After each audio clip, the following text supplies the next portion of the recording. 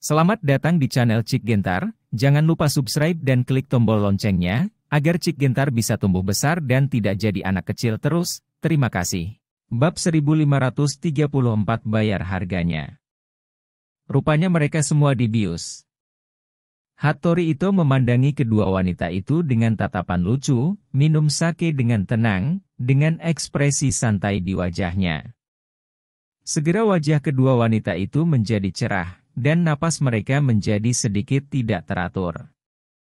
Sepertinya malam ini menyenangkan. Hattori itu tersenyum ringan. Bang bang bang.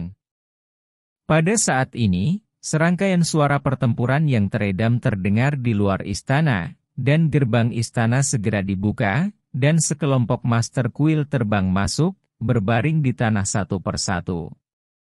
Segera, Mata dari empat pusat kekuatan kuil di istana, yang mengenakan jas hitam yang kuat, memancarkan kecemerlangan yang menakutkan, dan mereka berdiri di depan Hattori itu, menatap langsung keluar istana. Ada suara langkah kaki, dan sosok Daniel masuk, mengunyah permen karet, meludahkannya ke tanah, dan menatap Hattori itu dan yang lainnya dengan tatapan lucu di sudut mulutnya.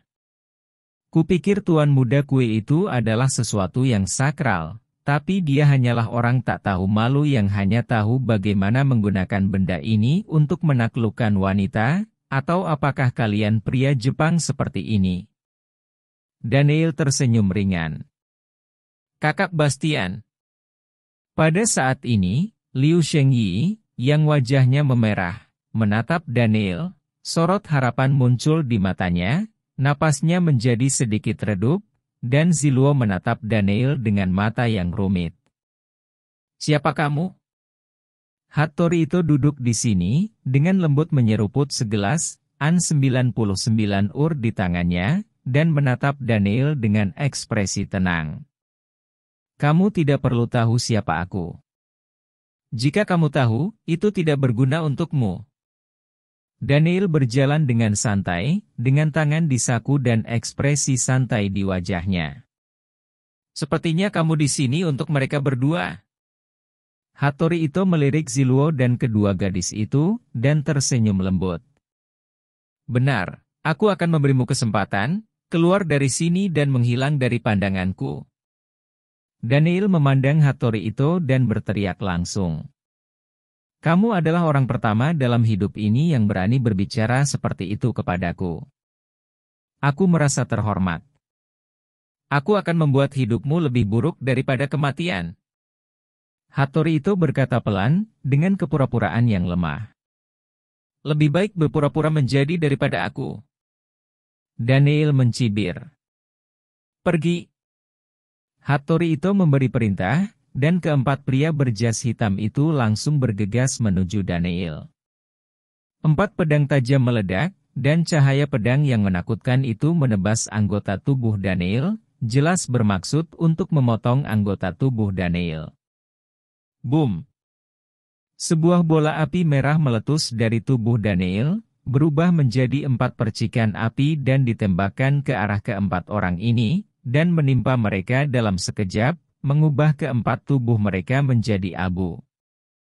Hanya dalam beberapa detik sebelum dan sesudah, empat master kuil di alam kondensasi langsung dibunuh oleh Daniel, dan yang terakhir bahkan tidak bergerak sedikit pun.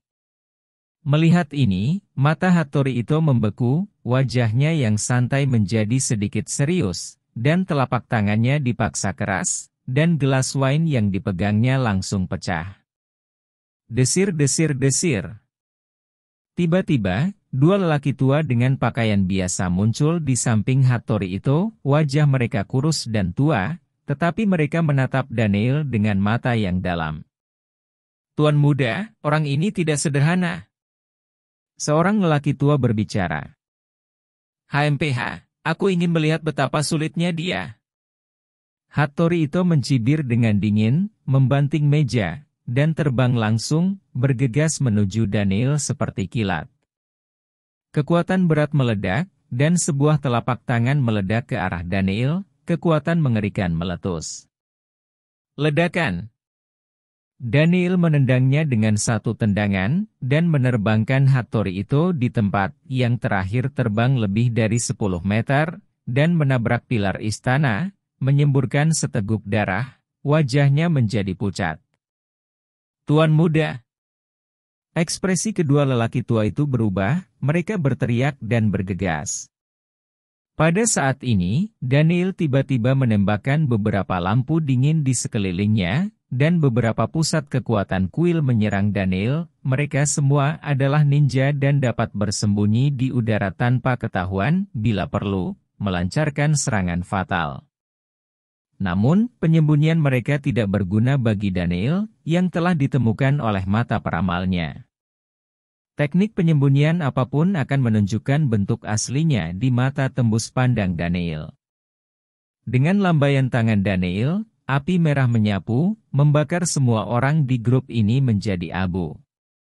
Bawa tuan muda dan segera pergi. Pada saat ini, salah satu tetua kuil berkata kepada orang lain, dia langsung menyerang Daniel, mengayunkan formula segel dengan kedua tangannya, serangan mengerikan meletus, dan kekuatannya telah mencapai titik pengumpulan pil. Lingkungannya lima kali lipat dan lelaki tua lainnya dengan cepat menghilang di tempat sambil memegangi tubuh Hattori itu. KL1K Pada saat ini, terdengar suara retakan tulang yang tajam, dan Daniel mencengkeram tenggorokan lelaki tua itu dengan satu tangan, langsung menghancurkannya. Masa api merah mengubah tubuh penatua tingkat kelima di alam alkimia menjadi abu, dan Daniel melirik kedua wanita itu. Bagaimana kabarmu? Daniel berjalan ke arah kedua gadis itu dan berbicara, tetapi kedua gadis itu sudah tidak sadarkan diri saat ini, dan wajah mereka sangat merah. Melihat ini, mata Daniel membeku, dan dia dengan cepat mengayunkan jarum lima elemen, langsung menusuk tubuh Liu Shengyi, dan kekuatan bintang mengalir ke tubuhnya. Beberapa menit kemudian, tubuh Liu Shengyi terengah-engah, dan kekuatan obat di tubuhnya hilang, dan dia jatuh koma karena kelelahan mental yang berlebihan. Segera, Daniel menatap Ziluo, yang telah kehilangan penglihatannya dan secara bertahap kehilangan kewarasannya. Daniel menatap Ziluo, dengan senyum jahat di sudut mulutnya. Kamu wanita, kamu cukup ambisius, dan kamu telah mendapatkan kembali semua pengaruhku di Dongpu. Daniel tersenyum lembut, Daniel secara alami menyadari Ziluo diam-diam menjatuhkan semua istana Tianshan dan keluarga Musashi, tetapi dia memiliki banyak hal pada saat itu dan tidak mempedulikannya. Tapi Daniel tidak akan membiarkannya begitu saja, siapa pun yang berani bersekongkol melawannya harus membayar harganya, bahkan Ratu Dongying tidak terkecuali. Itu bukan salahku, aku juga menyelamatkanmu. Daniel tersenyum jahat, mengambil Ziluo dan berjalan menuju tempat tidur di sisi istana, tolong putuskan sendiri tentang apa yang terjadi selanjutnya. Pada saat itu Hattori itu, di bawah kepemimpinan orang tua itu, telah melarikan diri ke kuil terlarang di Kyoto. Ehem. Hattori itu terbatuk keras. Bagaimana kabarmu, Tuan Muda? Pria tua itu berkata dengan cepat. Sialan, siapa sih orang ini? Kekuatannya sangat kuat. Wajah Hattori itu terlihat sangat jelek. Dia awalnya mengira dia adalah master nomor satu di dunia ini, seorang jenius mutlak.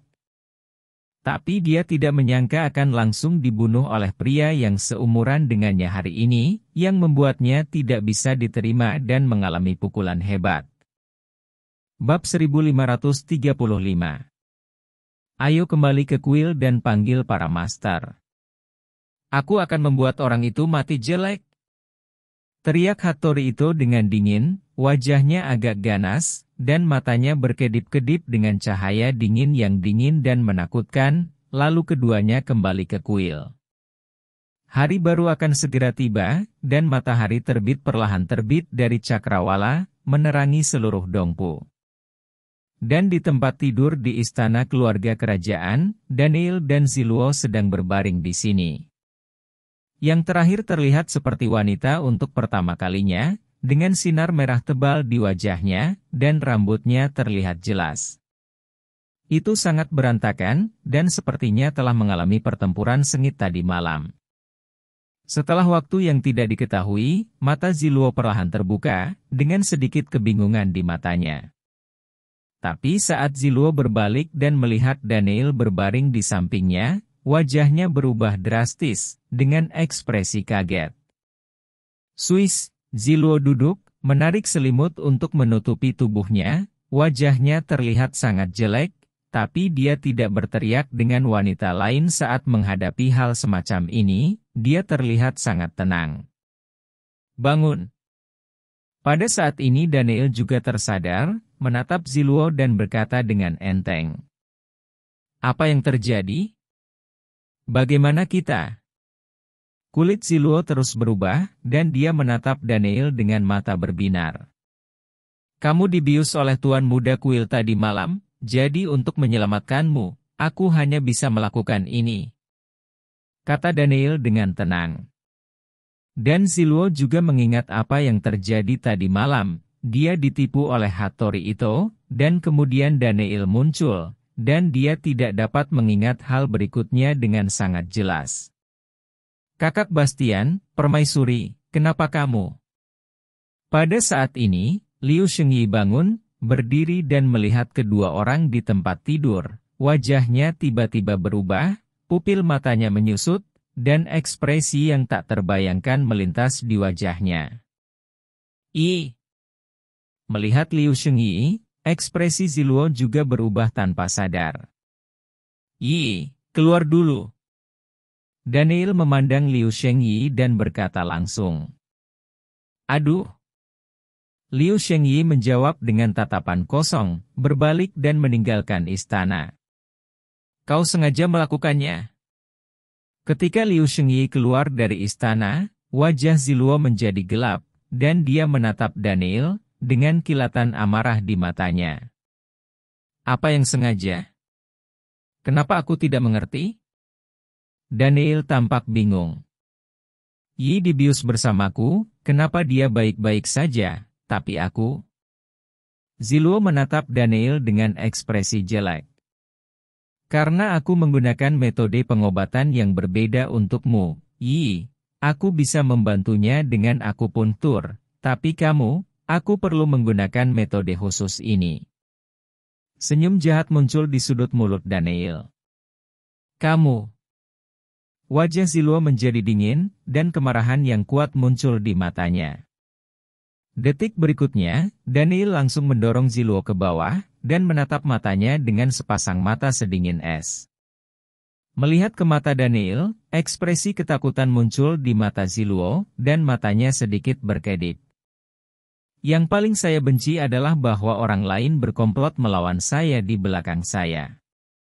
Apakah Anda pikir saya tidak tahu apa yang Anda lakukan?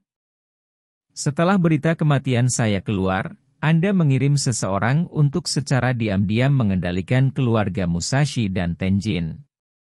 Istana Di tanganku sendiri, ambisi dan keberanianmu cukup besar. Daniel memandangi Ziluo dan meludahkan dengan dingin, cahaya dingin di matanya terciprat ke mana-mana. Aku. Ziluo terbuka. Mulut tidak tahu bagaimana membukanya. Biasanya, Aku akan membunuh seseorang sepertimu secara langsung, tapi aku adalah orang yang menyukai wangian dan menghargai batu giok, dan kamu adalah orang yang paling dekat dengan Yi. Aku tidak ingin membuatnya sedih, jadi aku hanya bisa bertanya padamu untuk membayar sedikit. Harga Daniel berkata dengan dingin, duduk tegak, dan warna kulit Ziluo terus berubah. Daniel bangkit dan mengenakan pakaiannya, menatap Ziluo. Terserah kamu untuk memiliki ambisi, tapi aku tidak suka seseorang berkomplot melawanku di belakangku. Mulai hari ini, kamu adalah bawahan Daniel, dan aku dapat membiarkanmu terus mengendalikan Dongpu. Tapi saya harap Anda ingat bahwa ada saya sebagai tuan di belakang Anda.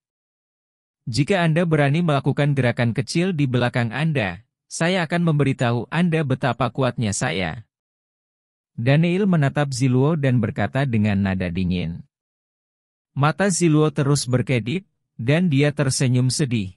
Aku tidak menyangka bisa lolos dari hinaan Hattori itu, tapi pada akhirnya jatuh ke tanganmu. Aku cukup bagus dibandingkan dengan pria itu, bukan?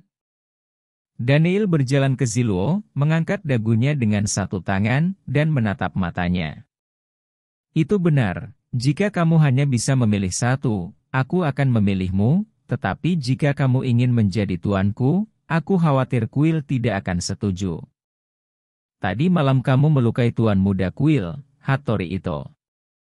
Dia pasti tidak akan berhenti di situ, dan kuil adalah organisasi paling misterius dan kuat di Jepang, dengan kekuatan untuk menghancurkan dunia. Aku tidak tahu apakah kamu bisa melakukannya. Konfrontasi? Zilu menatap Daniel dan berkata dengan lembut. Kuil? Hancurkan dunia, aku akan segera memberitahumu bahwa apa yang disebut kuilmu yang bisa menghancurkan dunia itu rapuh seperti anjing di tanganku. Daniel mencibir, berbalik dan berjalan keluar. Saat ini, di istana kerajaan, Sekelompok orang bergegas masuk, pemimpinnya adalah Hattori Ito, diikuti oleh sekelompok pembangkit tenaga kuil. Di antara mereka, yang paling kuat adalah lima prajurit berkostum hitam dan bersenjatakan pisau panjang, mata mereka penuh dengan cahaya dingin, dan tubuh mereka dipenuhi dengan niat membunuh yang mengerikan. Kekuatan kelima orang ini telah mencapai tingkat ketujuh dari kondisi alkimia, dan aura pembunuh mereka sangat berat. Saat ini, Daniel sudah tiba di depan sekelompok orang ini, dan menatap mereka. Tampaknya kekuatan kuil ini juga sangat kuat. Itu mampu mengalahkan lima master dari tingkat ketujuh dari kondisi alkimia sekaligus. Daniel berkata dengan lembut, dan dia telah melihat kekuatan kelompok orang ini, kuil ini memang bukan kekuatan biasa, dan tidak kalah dengan kekuatan sekte besar di alam Kunlun. Jika tidak, tidak mungkin untuk keluarkan lima ahli pengumpul pil untuk menghadapinya. Nak, aku tidak menyangka kamu ada di sini, Tuhan tolong aku. Hattori itu memandang Daniel dan berteriak dengan dingin, dengan kilatan suram di matanya. Tentu saja aku ingin berada di sini. Mulai hari ini dan seterusnya, aku akan melindungi seluruh dongpu, termasuk keluarga kerajaan Dongpu. Kata Daniel dengan dominan, saat ini Ziluo juga berpakaian dan keluar. Hattori itu melirik Ziluo, matanya menyipit, dan dia berkata dengan ekspresi muram, apakah kamu pernah menjalin hubungan dengannya? Ya, dia sekarang adalah bawahanku. Daniel memeluk Ziluo, menatap Hattori itu dan mencibir. Kamu jalang, Aku menolak untuk memintamu menjadi wanitaku, tapi kamu naik ke tempat tidur pria ini begitu cepat. Kamu pantas mati, kamu semua pantas mati. Hattori itu menatap keduanya dengan kilatan dingin di matanya, dan api amarah membara. Bab 1536 Berikan padaku, bunuh mereka, aku ingin belajar tentang keluarga kerajaan ini hari ini. Hattori itu berteriak dengan nada membunuh, dan dengan lambaian tangannya, sekelompok pembangkit tenaga kuil bergegas menuju Daniel. Mundur. Daniel melepaskan Ziluo, dan berkata langsung, Ziluo segera mundur ke belakang, menatap Daniel. Sekelompok ayam dan anjing kampung, karena kamu ingin mati, aku akan memberimu tumpangan. Daniel muntah dengan dingin, Rasa dingin yang menakjubkan di matanya terciprat ke mana-mana, dengan lambaian tangannya, segumpal api merah menyapu, seketika sekelompok orang menjadi abu oleh api merah. Desir Pada saat ini, lima master di tingkat ketujuh dari kondisi alkimia langsung mengayunkan pedang samurai mereka dan menembakkan lima lampu pedang yang tajam dan menakutkan ke arah Daniel. Kematian Daniel mengucapkan sepatah kata, dan lima pisau terbang ditembakkan dari tubuhnya, langsung menusuk tenggorokan kelima orang itu, kelima orang itu menatap lebar dan langsung jatuh ke tanah. Ini Melihat lima orang kuat di tingkat ketujuh dari kondisi alkimia langsung dibunuh oleh Daniel, Hattori itu memiliki ekspresi bingung dan kusam di wajahnya. Kekuatan Daniel telah melampaui imajinasi Hattori itu, kekuatan semacam ini sudah menjadi milik master teratas di kuil, tapi sekarang seorang anak laki-laki berusia 20-an telah mencapai kekuatan ini, sungguh sulit dipercaya. Kemarin aku melepaskanmu, tapi hari ini kamu mencari kematian lagi. Daniel menatap Hattori itu, dan berkata dengan dingin, matanya berkaca-kaca. Kamu, apa yang akan kamu lakukan? Biarkan aku memberitahumu, ayahku adalah penguasa kuil. Jika kamu berani membunuhku, dia tidak akan pernah membiarkanmu pergi. Hattori itu memandang Daniel dengan wajah jelek, dan berkata dengan suara agak tegas.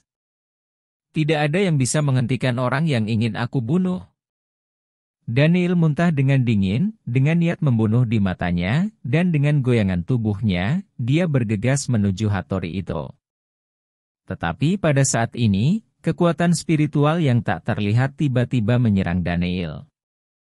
Mata Daniel menyipit, dan empat jiwa bintang di benaknya bersinar dengan cahaya, langsung menghalangi serangan kekuatan spiritual itu. Bandingkan aku dengan serangan jiwa. Daniel mendengus dingin, dan kekuatan jiwa yang kuat meledak. Poh!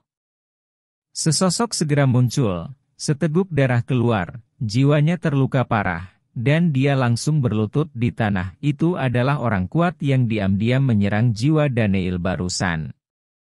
Dan kekuatannya berada di tingkat pertama alam spiritual, dan dia jelas seseorang dari kuil yang diam-diam melindungi Hattori itu, tetapi dia tidak menyangka Daniel akan memahami metode serangan spiritual sebelum dia mencapai alam spiritual. Selain itu, kesadaran spiritualnya lebih kuat dari dirinya sendiri, dan jiwanya terluka parah dengan satu pukulan. Ku bilang, tidak ada yang bisa menolak orang yang ingin kubunuh. Daniel menatap Hattori itu dengan dingin, dengan niat membunuh di matanya tidak berkurang, dan dengan lambaian tangannya, dia meraih Hattori itu. Kamu. Hattori itu menatap Daniel yang tersipu, dan ingin berbicara, tetapi tidak dapat berbicara lagi. Jika kamu membunuhnya, kuil pasti tidak akan membiarkanmu pergi. Pembangkit tenaga kuil di tingkat pertama alam piling berlutut di tanah, memandang Daniel dan berkata, Aku ingin melihat bagaimana kuil ini tidak mengizinkanku pergi. Pandangan jijik melintas di mata Daniel, dan dia mengerahkan kekuatan dengan telapak tangannya. Suara KL1K yang tajam terdengar, dan tuan muda yang agung dari kuil itu. Mata Hattori itu membelalak, tenggorokannya diremukan oleh Daniel, aliran darah meluap dari sudut mulutnya, kepalanya dimiringkan, dan dia mati total. Dengan jentikan tangan Daniel, Hattori itu terbaring di tanah, dengan tatapan tidak percaya di matanya, rupanya dia tidak menyangka dia akan mati seperti ini. Kamu sudah mati, penguasa kuil tidak akan membiarkanmu pergi.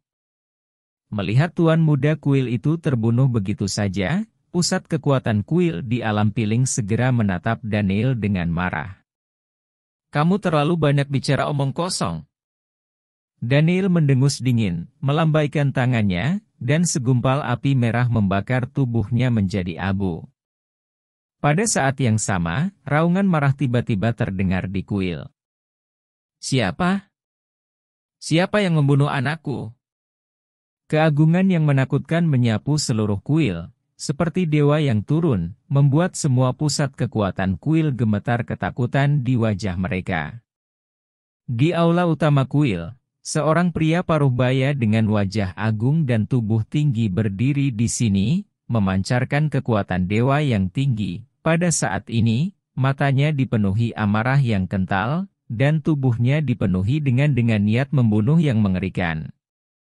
Niat membunuh ini sepertinya langsung mengarah ke langit, membuat hati orang gemetar, dan dia adalah penguasa kuil, Hattori Hanzo, penguasa alam spiritual yang tak tertandingi, yang mengendalikan kuil yang kuat dan misterius, yang telah dilewati turun selama ribuan tahun.